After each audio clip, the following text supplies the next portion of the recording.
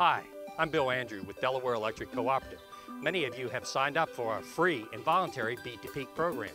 It's saved our members more than $14 million, but there's another way our members can lower their monthly electric bill. The Switch and Save program is the topic of today's PowerPoints.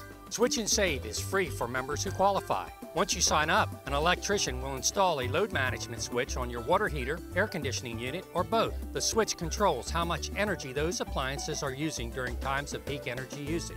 Members are not inconvenienced by the switch, and you'll get a $2 monthly credit on your bill for each switched appliance in your home. By making the switch, you can save up to $32 per year, and signing up is easy. Call us at 302 349 9090 or visit our website at delaware.coop. 21,000 members have already signed up.